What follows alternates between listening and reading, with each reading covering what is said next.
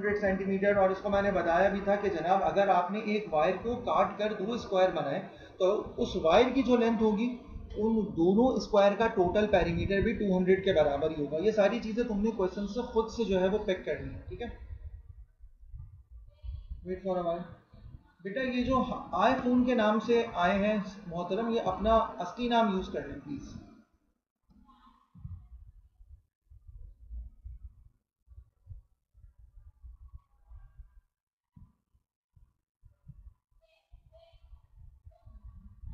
बेटा, ये जो आईफोन के नाम से आए मैं इनसे मुखातिब हूँ उसका।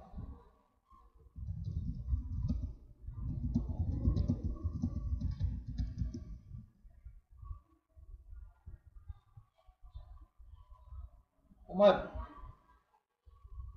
आईफोन के नाम के साथ आना ज़रूरी है?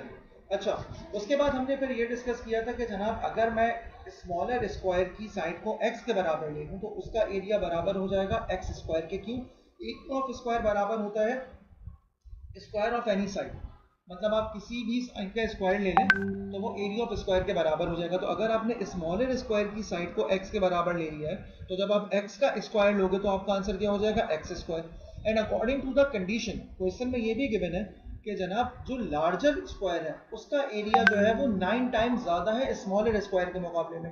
If the area of the smaller square is x square then the area of the larger square will be nine x square ठीक है? और हमें पता है एरिया कैसे निकालना है? लेंथ का स्क्वायर मालूम कर कर। ठीक है?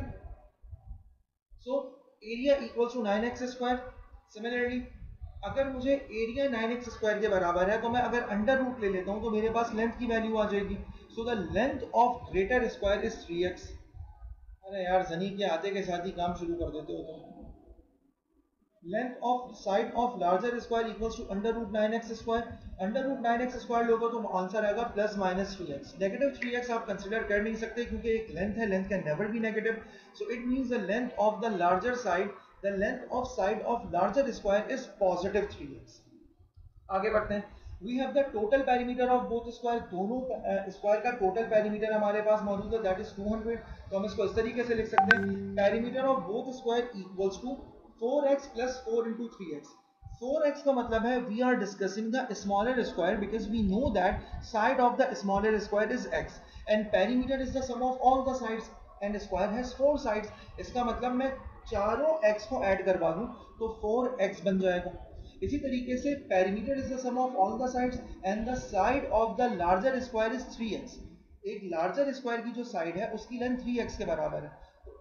उसके चारों साइड्स की वैल्यू 3x के बराबर होगी, क्योंकि स्क्वायर है स्क्वायर है square is a shape in which every side is equal so 4 multiply by 3x बराबर हो जाएगा 12x के. इक्वेशन क्या बन गई? 200 equals to 4x plus 12x simplify करोगे 200 इक्वल्स टू 16x आ जाएगा. 16 वहाँ जाकर डिवाइड हो जाएगा. इक्वेशन क्या बन जाएगी? X equals to 200 upon 16 that is equals to 12.5 इसका मतलब क्या हुआ जनाब? कि आपके पास स्मॉलर स्क्वायर की जो एक साइड है, उसकी लेंथ 12.5 के बराबर है। And if I ask you to find the length of the larger square क्या करोगे? 3x के बराबर था 12.5 को 3 से मल्टीप्लाई करा दोगे। खैर, हमने वो मालूम नहीं करना। हमने पेरीमीटर मालूम करना है लार्जर स्क्वायर का। We know that the side of larger square is 3x and perimeter is the sum of all sides and a square has four equal sides. So we can write it as perimeter of larger square equals to 4 into 3x 4 मतलब चार sides. 3x मतलब length of each side and the length of x equals to 12.5 so 12 multiply by 12.5 बराबर हो जाएगा 150 centimetre के. यहाँ तक अगर किसी को कोई मसला है तो वो पूछ सकता है वरना हम आगे बढ़ते क्या चीज़ इसमें तो ये पेरीमीटर जो आपने बताया वो नहीं समझ आया perimeter is the sum of all sides हम बात कर रहे हैं स्क्वायर की। How many sides are there in a square चार साइड्स होती हैं? यस सर तो मैं पेरीमीटर ऑफ़ स्क्वायर का फॉर्मूला लिख सकता हूँ फोर मल्टीप्लाई बाय साइड्स ठीक है? अब साइड की लेंथ कितनी है? लार्जर स्क्वायर की साइड की लेंथ है 3x के बराबर तो 4 मल्टीप्लाई बाय 3x हो जाएगा।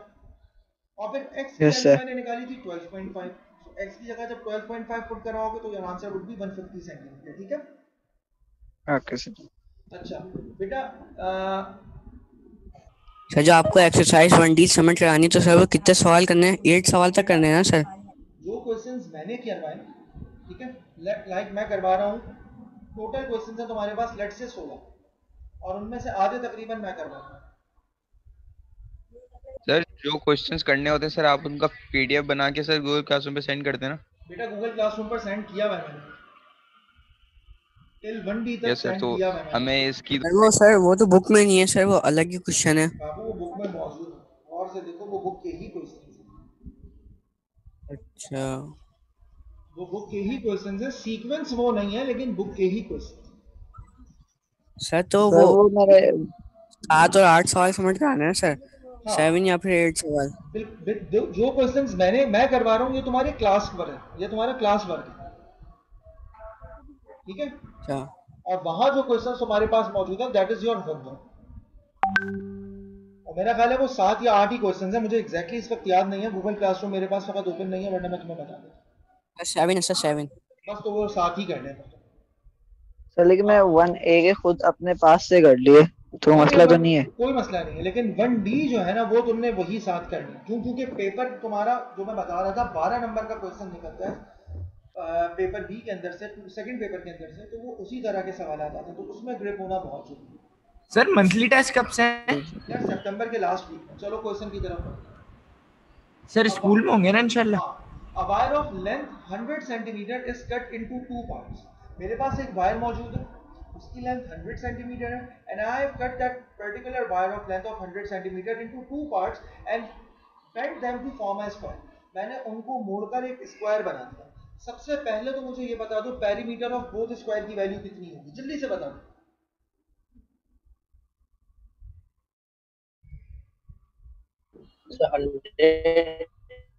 अगर मैंने एक वैल्यू मतलब मेरे पास एक स्क्वायर मेरे पास एक वायर ऑफ़ लेंथ मौजूद है और उस वायर ऑफ़ लेंथ की वैल्यू है मेरे पास 100 सेंटीमीटर और उस लेंथ वायर को मैंने दो हिस्सों में काट दिया और उन दोनों हिस्सों से मैंने दो स्क्वायर बना लिए so the total perimeter of both square must be equal to 100 centimetre ठीक है?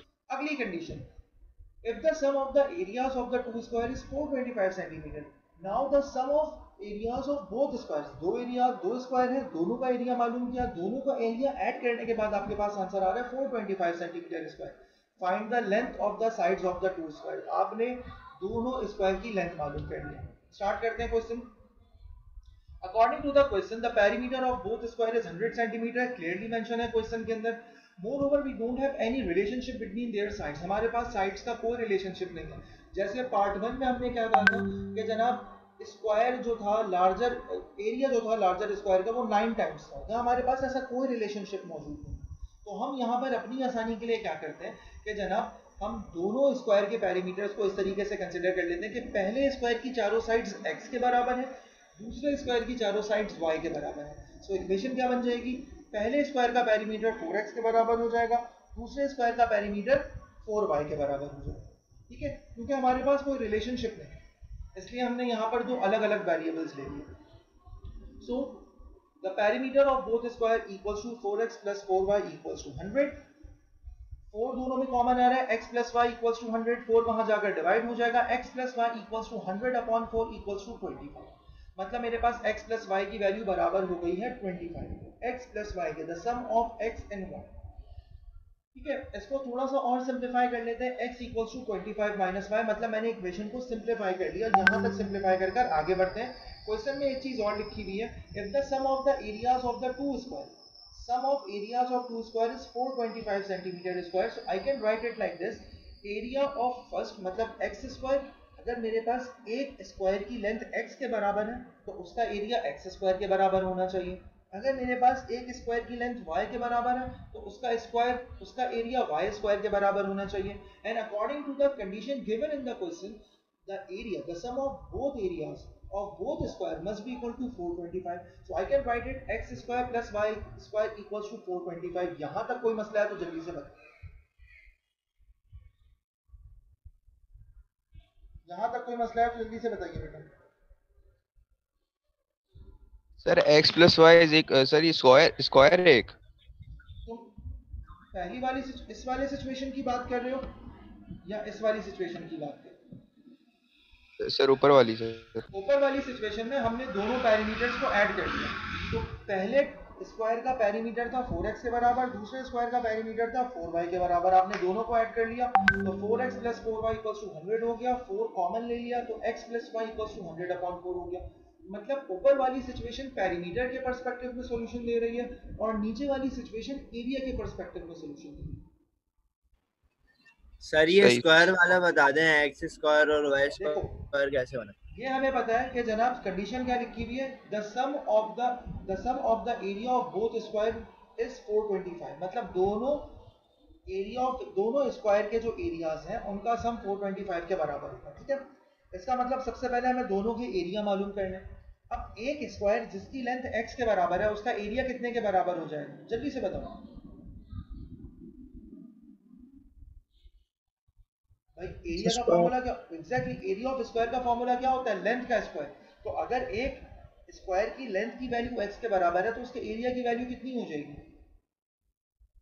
स्क्वायर और इसी तरीके से एक स्क्वायर मौजूद है उसकी लेंथ y है तो उसका उसका एरिया का एरिया की वैल्यू कितनी हो जाएगी?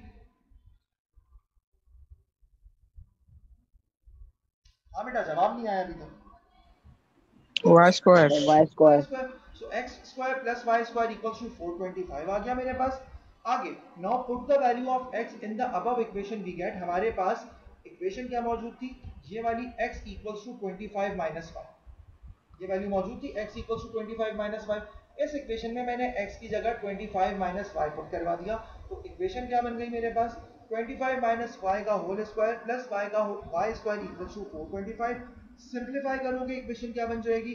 A माइनस बी का होल स्क्वायर यहाँ पर लगेगा। So so, 625 minus fifty y plus y square plus y square equals to 425 simplify करोगे। 2y square minus fifty y plus 625 और positive 425 would be negative 425 when you shift that 425 to the other side. So minus 425 आ जाएगा। Further simplify कराओगे two y square minus five y plus 200 आ गई तुम्हारे पास एक quadratic equation जब तुम इस क्वाड्रेटिक इक्वेशन को सॉल्व करोगे हाँ बेटा कासिम बोलो। कासिम बोलो बेटा।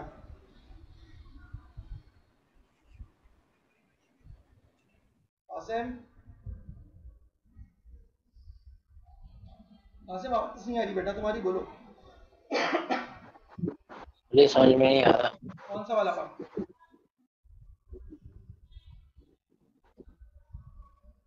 देखो हमने यहाँ किया क्या?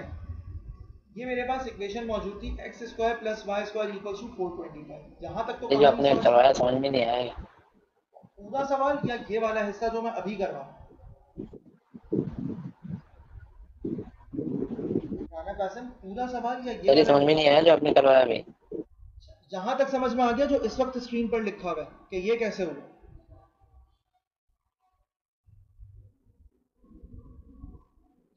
राना कासिम, यहाँ तक समझ में आ गया बेटा जो अभी स्क्रीन पर लिखा हुआ है, कि sum of sum of the areas of the two square is 425 centimetre तो क्योंकि मेरे पास एक स्क्वायर की लेंथ थी x के बराबर एक स्क्वायर की लेंथ थी y के बराबर तो जिसकी जिसकी लेंथ x के बराबर थी उसका एरिया x स्क्वायर के बराबर हो जाएगा। जिसकी लेंथ y के बराबर थी उसका एरिया y स्क्वायर के बराबर हो जाएगा। So x square plus y square equals to four twenty five यहाँ तक बात समझ में आई है राना कासिम? पहले तो ये बताओ मुझे। चलो आगे बढ़ो। उसके बाद आवाज़ कट है आपकी। मेरी आवाज़ नहीं कट रही बेटा तुम्हारी आवाज़ कट रही है मुझे भी तुम्हारी आवाज़ कट कट कर आ रही है। आगे बढ़ते हैं। हमारे पास ऊपर वाली इक्वेशन में x की वैल्यू बराबर थी 25 फाइव माइनस वाई की। सो मैं इस x की जगह 25 फाइव माइनस वाई की वैल्यू पुट करवा सकता हूँ। सैमिल्टेनियस इक्वेशन है। इक्वेशन क्या बन जाएगी? 25 फाइव माइनस वाई एक्स की वैल्यू 25 फाइव माइनस वाई के बराबर थी तो मैंने x की जगह 25 फाइव माइनस वाई पुट करवा दिया। सो 25 माइनस वाई का whole square plus y square equals to 425 further simplify कराओगे 25 का स्क्वायर 625 फिर 2ab की वैल्यू माइनस फिफ्टी वाई के बराबर, फिर y का स्क्वायर आ जाएगा, फिर पॉजिटिव वाई स्क्वायर पहले से फॉर्मूले के बाहर मौजूद है और 425 इक्वल्स टू के बाद आ जाएगा। फर्दर सिंप्लीफाई करोगे 2y square minus fifty y plus six twenty five minus four twenty five equals to zero ठीक है? Four six twenty five minus four twenty five two y square minus five y plus two hundred equals to zero तो तुम्हारे पास यहाँ पर quadratic equation आ गई। यहाँ तक किसी को मसला है तो जल्दी से रेज हैंड कर दे। क्योंकि उसके बाद इस सवाल में कुछ नहीं रखा। जल्दी बताइए। सर ये ये दोबारा एक बार ये सर ये लास्ट स्टेप रिपीट करिएगा सर ये जो 25 माइनस वाई स्क्वायर वाला है। देखो तुम्हारे पास इक्वेशन क्या बनी है? X square plus y square equals to four twenty five ठीक है? ये बात समझ में आई? अबू बकर। यस सर ऊपर लिखा हुआ है x बराबर है 25 माइनस वाई के। तो मैं इस x की जगह 25 माइनस वाई की वैल्यू पुट करवा सकता हूँ। साइमल्टेनियस इक्वेशन तुम लोगों ने लाजमी सॉल्व किए होंगे। तो ये Yes, बेसिकली sir. मैंने x की वैल्यू 25 माइनस वाई पुट करवा दी और क्योंकि x के ऊपर स्क्वायर लगा हुआ है तो इसका मतलब क्या हुआ जनाब कि 25 माइनस वाई के ऊपर भी स्क्वायर लगे। ठीक है? यस सर यहाँ ये काम है हमारे Okay, पास इक्वेशन बन गई x square plus y square equals to 425 initially we have found the value of x that is equals to 25 minus y. So we can put the value of x equals to 25 minus y in this equation. So x की value क्या थी? 25 minus y and we have a square on x. So 25 minus y के ऊपर भी एक whole square आ जाएगा। Simplify करोगे ये तुम्हारे पास क्वाड्रेटिक इक्वेशन आ गई। क्वाड्रेटिक इक्वेशन को जब तुम सॉल्व करोगे तो तुम्हारे पास दो सॉल्यूशन आएँगे 20 और 5 मैं सॉल्व नहीं कर रहा क्योंकि सॉल्व तुम लोगों को करना आता है। सोल्यूशन आ गया तुम्हारे पास 20 और 5 के बराबर। Now put these values in the equation to get the value of x. अब तुम्हारे पास y की एक वैल्यू 20 के बराबर है, एक वैल्यू 5 के बराबर है। तो पहले y की वैल्यू 20 पुट करवाइए और x की वैल्यू मालूम कीजिए। फिर y की वैल्यू 5 पुट करवाइए और x की वैल्यू मालूम कीजिए। So the answer would be x equals to 25 minus 20 equals to 5 और 25 minus 5 so x की वैल्यू 5 के बराबर होगी, जब y की वैल्यू 20 के बराबर होगी और x की वैल्यू 20 के बराबर होगी, जब y की वैल्यू 5 के बराबर होगी। तो. सॉल्यूशन आ गया। यहाँ तक कोई प्रॉब्लम है तो पूछ लो जल्दी से। ये ये वाला लास्ट स्टेप समझ में नहीं आया sir. x equals to 25 minus 20 equals to तुम्हारे 5 पास हाशिम महमूद बोल रहे हो? समीर अली। समीर अली। हाशिम महमूद आप भी पूछ लीजिए बेटा सवाल ताकि मैं एक साथ जवाब दूँ। जल्दी बोलो हाशिम। अच्छा मे- मेरा सर वो सवाल ये है कि मैंने सर आप सर ये क्वेश्चंस भी कराया और आपने सर और क्वेश्चंस भी दिए हैं। मुझे सर कंफ्यूजन ये हो रही है सर मैं ऑड क्वेश्चंस करूँ या फिर सर जो आप क्वेश्चंस करवा रहे हैं ये करूँ? मैं सिर्फ़ इस एक्सरसाइज की बात कर रहा हूँ। एक्सरसाइज वन डी में जो क्वेश्चंस मैं करवा रहा हूँ that is your class work और मैंने exercise one D class Google classroom पे जो क्वेश्चन दिए वो सारे क्वेश्चन नहीं दिए वो सिलेक्टेड क्वेश्चन दिए। तो तुमने वो सिलेक्टेड क्वेश्चन सारे सॉल्व कर ठीक है? ओके सर दिया भाई। समीर तुम्हारे पास y की दो वैल्यूज़ आई हैं 20 और 5 तुमने इस 20 और 5 जो तुम्हारे क्या पास दो कर रही हो? इसको आप पुट करवा दोगे x equals to 25 minus y के अंदर। तो आपके पास y की एक वैल्यू आई थी 20 मैंने यहाँ y की वैल्यू 20 पुट करवा दी। मेरे पास x इक्वल्स टू 20 के बराबर हो गया। फिर मेरे पास एक ये दो वैल्यू कौन सी आई है सर? बेटा जब हम लोगों ने सॉल्व किया था क्वाड्रेटिक फॉर्मूले को तो हमारे पास y की दो वैल्यूज़ आई थी 20 और 5 मैं क्वाड्रेटिक इक्वेशन को सॉल्व नहीं कर रहा सॉल्व करना तुम लोगों को आता है। सर वो तो वाई की आई थी। है हाँ तो y की ही आएँगी ना क्योंकि यहाँ पर हमारे पास एक्स की कैसे पता चली फिर? बता रहा हूँ ये एक फॉर्मूला नज़र आ रहा है 25 x equals to 25 minus y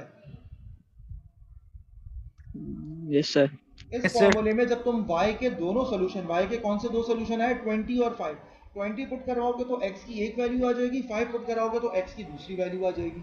Okay sir okay okay okay okay okay Sameer अब समझ आया बेटा ये?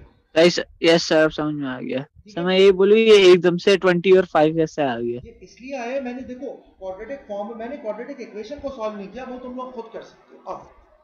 ठीक सर ठीक है तो टाइम को कंफाइन करने के लिए टाइम बचाने के लिए जो है वो मैंने इस स्टेप को तेज़ी में आगे लेकर गया नेक्स्ट क्वेश्चन की तरफ़ प्रोसीड करते हैं। A group of student is on a sightseeing tour. एक ग्रुप ऑफ़ स्टूडेंट जो है वो एक जगह घूमने गया हुआ टोटल फेयर उस ग्रुप का जो टोटल फेयर लगा है वो 120 डॉलर का लगा है और ये इक्वली डिस्ट्रीब्यूट हुआ है तमाम लोगों के दरमियान। ठीक है? कुछ देर बाद दो स्टूडेंट्स और आते हैं और जब वो इस ग्रुप को ज्वाइन करते हैं तो इसका मतलब क्या हुआ? अब हर बच्चे ने दो डॉलर कम देंगे इसका मतलब लेट से मैं कह रहा हूँ कि क्लास नाइन और साइंस साइट सीइंग टूर पर गए। जब क्लास नाइन और science science sightseeing tour पर गए जी कासिम बोलिए बेटा। कासिम जल्दी जल्दी जल्दी। सर एक मिनट क्वेश्चन नाइन खोलिएगा सर। बोलो।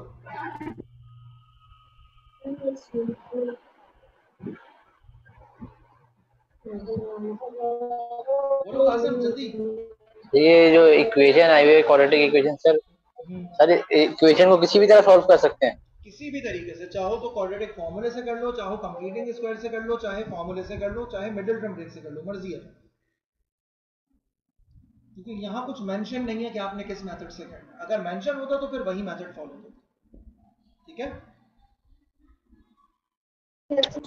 मेंशन से मुराद सर क्या कैसे लिखा हुआ आता है? वो लिख दे कि solve the following equation by completing the square अब क्लियरली मेंशन है तो कंप्लीटिंग द स्क्वायर से ही करोगे किसी और से नहीं कर सकते। ठीक सर ठीक है? चलिए जी question number ten so question number ten को हम डिस्कस कर रहे थे।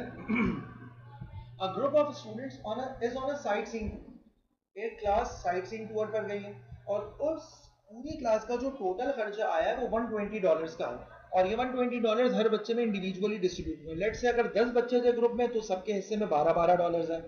12 बच्चे थे तो सबके हिस्से में 10 10 डॉलर है एंड सो ऑन कुछ भी कैलकुलेशन हो सकती है। हुआ क्या? थोड़ी देर बाद दो और स्टूडेंट्स आए, उन्होंने टूर को ज्वाइन किया and after they joining them the cost of each student is reduce to two dollar मतलब अगर कोई बच्चा पहले 10 डॉलर दे रहा था तो अब वो 8 डॉलर देगा दो बच्चों के आने की वजह से।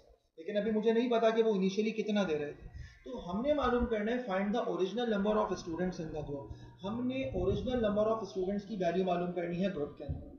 ठीक है? स्टार्ट करते हैं। Let suppose the number of students is x मैं नंबर ऑफ़ स्टूडेंट्स को एक्स कंसिडर कर लेता हूँ और मुझे पता है कि जनाब उन सबने मिलकर 120 डॉलर्स जमा किए so if I need to find the value of one person should I divide 120 by x अगर let say number of students x है और एक्स बच्चों ने 120 डॉलर सबमिट करवाए और मैं तुमसे कह रहा हूँ कि एक बच्चे ने कितने डॉलर सबमिट करवाए तो should I divide 120 by x क्या ये बात बिल्कुल सही है? यस सर मैं इसको इस तरीके से लिख सकता हूँ 120 ट्वेंटी अपॉन एक्स क्या इसको 120 ट्वेंटी अपॉन एक्स की फॉर्म में yes. सकता है? यहाँ तक कोई मसला? इससे मुझे क्या पता चल जाएगा? हर बंदे का इंडिविजुअली क्यों क्योंकि अगले स्टेप में मुझसे कहा जा रहा है जब दो बच्चे और आ गए तो हर बच्चे ने दो डॉलर कम दिए। तो इसका मतलब क्या हुआ? हर बच्चे की बात हो रही है तो सबसे पहले मुझे हर बच्चे की वैल्यू मालूम करनी पड़ेगी। So 120 upon x is the factor which tells me about the number about the amount each student share हर बच्चे का शेयर मुझे पता चल जाएगा 120 अपॉन x की सिचुएशन में। यहाँ तक कोई मसला? आगे बढ़ते When two more students join the group, जब दो बच्चे आए ज्वाइन और उन्होंने ज्वाइन किया ग्रुप को अब क्या हुआ? अब इन दो बच्चों के ज्वाइन करने की वजह से हर बच्चे के कॉन्ट्री हर बच्चा जो पैसे जमा कर रहा था उसने दो डॉलर कम जमा किए। तो कह रहा है right 120 upon x minus two one twenty upon x किसको बता रहा था? हर बच्चे की इंडिविजुअल प्राइस को। 120 x 120 upon x minus two मुझे क्या बता रहा है? हर बच्चे ने अब दो डॉलर कम देने हैं। ये कॉन्सेप्ट क्लियर हुआ? नहीं sir sir no total fair है। हाँ? बच्चों के सारे बच्चों के पैसे हैं 120 हाँ। भाई टोटल फेयर है 120 डॉलर्स ठीक है? 120 डॉलर्स हमने डिवाइड करने हैं x नंबर ऑफ़ स्टूडेंट्स में तो 120 ट्वेंटी अपॉन एक्स की वजह से मुझे एक बच्चे का प्रोपोर्शन पता चल जाएगा कि हर बच्चे ने कितना अमाउंट शेयर किया। ये बात समझ में आई? यस सर उसके बाद जब दो बच्चे और ऐड हो गए तो अब हर बच्चे ने दो डॉलर कम देने तो उसको मैं कैसे लिखूँगा? 120 अपॉन एक्स पर पर्सन की कॉस्ट थी। 120 अपॉन एक्स किसकी कॉस्ट थी? पर पर्सन की। क्योंकि जब भी आप टोटल वैल्यू को टोटल वैल्यू से डिवाइड करवाते हो तो आपके पास यूनिट वैल्यू आ जाती है कि एक बच्चे ने कितना पे किया। अब लेट से मेरे पास 10 बच्चे थे टूर के अंदर तो 120 डिवाइडेड बाय 10 का मतलब क्या होगा? हर बच्चे ने 12 डॉलर्स दिए ऐसा ही है। और फिर उससे कहा जा रहा है कि जब दो बच्चों ने और ज्वाइन कर लिया तो दो डॉलर और कम हो गए तो इसको मैं इस तरीके से लिख सकता हूँ 120 upon x minus two sir x plus two नहीं कर सकते। बाद में करेंगे वो स्टेप भी अभी समझा रहा हूँ। वो स्टेप दूसरा है। वो x प्लस टू सिचुएशन तो उस वक्त है जब बच्चे ऐड होंगे। बच्चे अब ऐड होंगे तो वो अगली सिचुएशन में समझाऊँगा। अभी तो मैं ये बता रहा हूँ कि दो बच्चों के ऐड होने की वजह से मेरे पास सिचुएशन में फ़र्क क्या आया? सिचुएशन में फ़र्क ये आया कि पहले 120 अपॉन एक्स था, अब इसमें से माइनस टू कर दूँगा तो मेरे पास हर बच्चे का शेयर आ जाएगा, दो डॉलर कम होने के बाद। ठीक है? आगे बढ़ते by adding two more students the equation can be written as अब दो students मैंने ऐड कर लिए। पहले मेरे पास 120 अपॉन एक्स था अब मेरे पास 120 अपॉन एक्स प्लस टू हो चुके हैं। ये बात समझ में आई अब? समझ लो तुम्हारा सवाल अब शुरू हो रहा है पहले 120 dollar x number of students ने जमा किए थे अब 120 dollar x plus two students ने जमा किए ये बात समझ में आई? यस सर आगे बढ़ते हैं। सर वो माइनस टू कहाँ गया? बता रहा हूँ। अब वो सारी चीज़ें जमा करेंगे। हमने अब तक तीन चीज़ें मालूम कर ली हैं। 120 अपॉन एक्स जो कि ओरिजिनल वैल्यू थी। फिर 120 अपॉन एक्स माइनस टू जो कि दो डॉलर कम होने के बाद आ रही थी। और 120 अपॉन एक्स प्लस टू जब दो दो स्टूडेंट्स ऐड हो जाएँगे ग्रुप के अंदर। अब जरा गौर से देखो। By adding two more students the amount paid by each student is reduce to two dollar mathematically we can write 120 upon x plus two इसका मतलब क्या हुआ? पहले वो क्वांटिटी जो x नंबर ऑफ़ स्टूडेंट्स में डिवाइड होनी थी, अब वो x प्लस टू में डिवाइड हो रही है और x प्लस टू में डिवाइड होने की वजह से क्वांटिटी में फ़र्क क्या पड़ा? हर बच्चे ने दो डॉलर कम देने। अब ये चीज़ समझ में आ गई कि वो जो पूरा बैकग्राउंड समझाया जा रहा था, वो यहाँ काम आएगा। क्या हुआ जनाब? पहले मेरे पास x नंबर ऑफ़ स्टूडेंट्स थे टोटल मेरे पास वैल्यू 120 थी तो मैंने 120 अपॉन x करवा दिया। फिर हुआ ये कि जनाब मेरे पास दो बच्चे और बढ़ गए। तो सिचुएशन क्या बन गई? 120 twenty upon x plus two और दो बच्चों के बढ़ने की वजह से ओवरऑल कॉस्ट में हर बच्चे के हिस्से में दो डॉलर कम हो गए। तो इसको कैसे लिखोगे? 120 अपॉन एक्स माइनस टू ये पूरी सिचुएशन अब समझ में आई? वर्ड प्रॉब्लम की ये एक खास बात है कि हर एक एक चीज़ समझ के चलना पड़ता है। यहाँ तक समझ में आई है तो बता दो क्योंकि इसके बाद इस सवाल में कुछ नहीं है। जल्दी बताओ जल्दी। यस नो सर समझ समझ आ गई आगे बढ़ते हैं। सिंप्लीफाई करते हैं।